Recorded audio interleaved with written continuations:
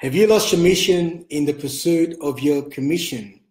Here's my question for you today. Hello, my name is Fernando, coming to you from Australia, Geelong, with 60 seconds of motivation, inspiration, tips, and resources to help you win your game in your network marketing business.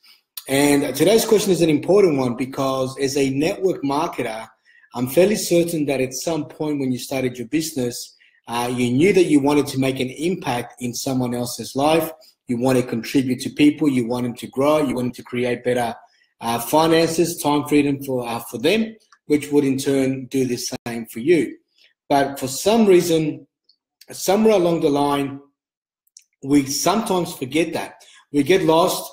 If you are trying to run funnels online to generate leads using attraction marketing, then sometimes I know from coaching people, the feedback I get is that my ads aren't working, I'm getting clicks, I'm not getting leads, I'm getting frustrated, I'm throwing money at Facebook, what's going on? And what I would say to you is that it may just be that somewhere along the line you lost sight of your mission. That is the reason why you started to do this, and you've now started to focus on your commission, which is what you're going to get out of it.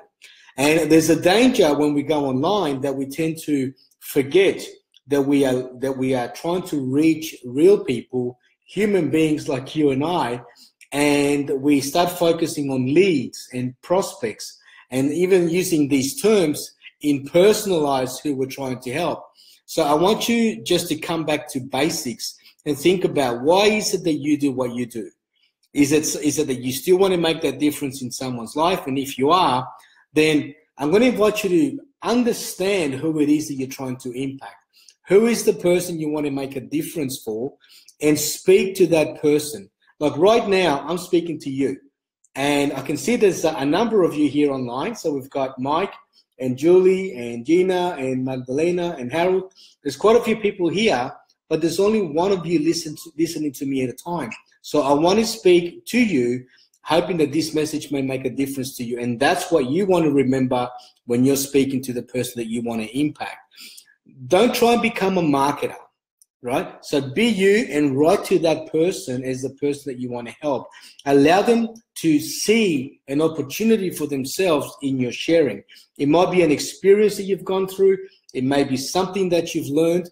But if you come back to basics and you and you speak or you write an ad or a message from the heart in genuinely trying to make an impact, there will be a vibration in that message that they're going to be able to get and resonate with. And it's in that vibration that they're going to be able to respond and be connected with you.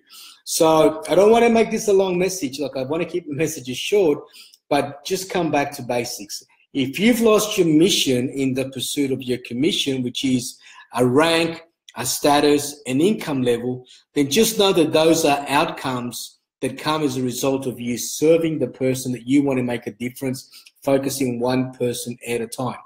Come back to basics, please know who you are, know who you want to serve, know why you started to do this business, and I promise you that things can turn around.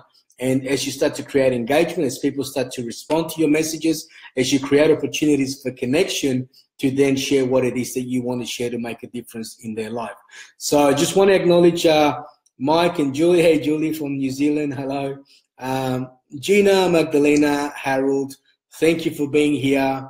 Uh, Dan, I'm not sure. we've got Dan and Jovelin. Thank you for joining.